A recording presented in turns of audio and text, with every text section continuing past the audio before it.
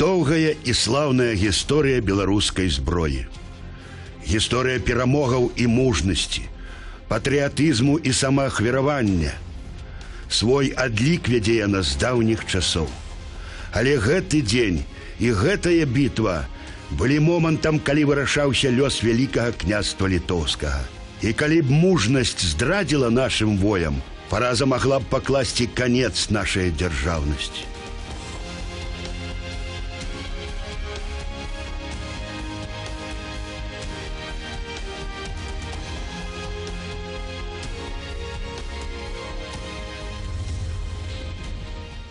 Маскоўскія войскі неперадольнай чорнай хваляй накрылі нашу зямлю. Ім скарыліся смаленскі віцебск, Менскі гародня, была спаленая і разрабаваная вільня. У год 1660 ад нараджэння Христова вялікае княства літоўскае працягвала жыць пад акупацыяй. Бітва пад палонкай, каб яе значэнне не кацаніць, трэба ўявіць представить себе, какая это была ситуация в этот час. Это середина войны страшной. Это краина под оккупацией. Корона под оккупацией шведских войск, Великое княжество Литовское под оккупацией московских войск. Только особные выспы, островы Супротиву. Вот на Беларуси это Старый Быхов, это Ляховичи, это приватные крепости, вельми моцные, на Радивиловский, Слуцак и иншие. Это вот выспы, якія даюць надзею, што можам яшчэ ўратавацца. Натуральна, што тыя часы 17 стагоддзя не было столькі войскаў, каб кожны куток акупаваць. Але занялі практычна ўсё. важнейшых гарадах, важнейшых замках сталі маскоўскія гарнізоны, некаторы не маглі здабыць.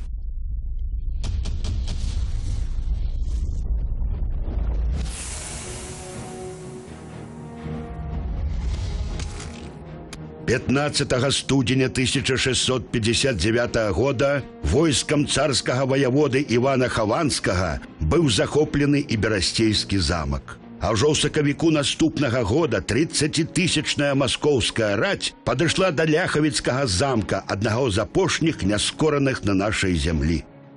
Але чатырохтысячная фартэцыя і не думала капітуляваць. Яна мужна і ўпарта баранілася. Два месяцы доўжылася знясільваючая аблога.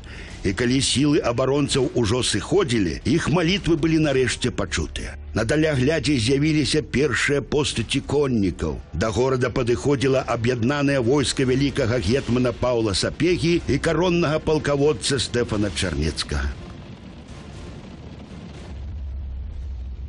Наша краіна упарта не жадала ператварацца у расійскую правінцыю.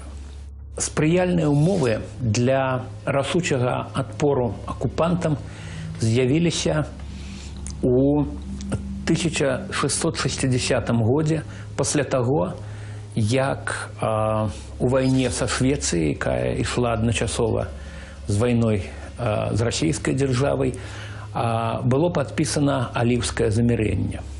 Паводле аліўскага трактату а, вялікі князь і кароль а, Ян Казімір Ваза адмаўляўся ад прэтэнзій на шведскі трон.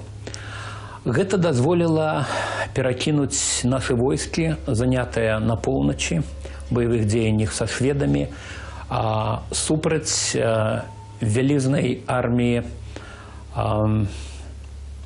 расійскай воеводы Івана Хаванскага. Агулам нашыя сілы складалі 10 тысячаў вояў. Колькасць маскоўцаў была ўдвая большая. Менавіта таму царскі ваявода хаванскі, не задумваючыся вырашыў спачатку даць бой сілам сапегі і чарнецкага, а потым ужо працягнуць аблогу. А восьмай раніцы 25 чэрвеня войскі сталі адно насупраць другога. Іх раздзяляла невялікая балоцістая рэчка палонка. Сапега размясціў у цэнтры сілы чарнецкага, а сваіх вершнікаў па баках ад яго. Хаванскі ж у цэнтры свайго войска паставіў пяхоту, якую таксама атачалі конныя сілы. Царскі ваявода, добра разумеючы сваю колькасную перавагу, заатакаваў першым. Спачатку хаванскі кінуў у бітву пяхоту, завязалася упартая сеча. Пад агнём рушніц і ударамі шабляў вояў чарнецкага гінулі царскія жаўнеры. Нашае ж войска не адступіла назад ні на крок. Імкнучыся перамагчы колькасцю хаванскі кінуў у бой яшчэ 6 тысяч пяхотнікаў. Але і гэтая атака не прымусіла нашых вояў паказаць спіны. Наадварот, пад агнём царскай артылерыі войска сапегі перайшло ў контрнаступ. Пераадолеўшы водную перашкоду, нашыя воі фактычна адмовіліся ад магчымасці адступлення. Цяпер выбар стаяў проста: перамагчы альбо загінуць. Магчыма, разуменне гэтага надало нашым продкам сілаў мужнасці і упартасці.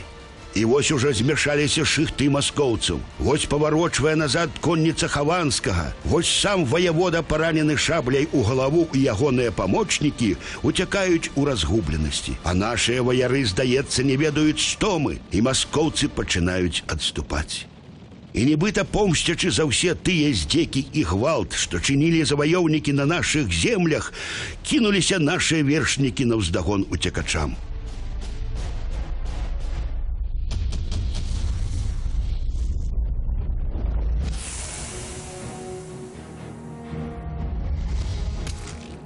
Пазней сам Павел Сапега, нібы апраўдуючыся, тлумачыў у лісце. Цяжка было раз'юшаным жаўнерам звязаць руки, і выбілі яны тры тысячы да аднаго. Агулам жа каля невядомых да тых падзей невялікай рэчкі палонкі і аднайменнай вёскі знайшлі свой апошні спачын каля пяці тысячаў маскоўцаў. Гэта быў поўны разгром галоўнай царскай арміі, што дзейнічала на землях вялікага княства літоўскага. У э, вайне адбыўся карэнны пералом, які даваў магчымасць перанесці баявыя дзеянні на тэрыторыю самой маскоўскай дзяржавы. А пераможцы у кінутым абозе знайшлі шмат пораху і ядраў, а таксама багата мукі і правіянту. А з якой удзячнасцю сустракалі нашых ваяроў абаронцы, Прашу звярнуць увагу.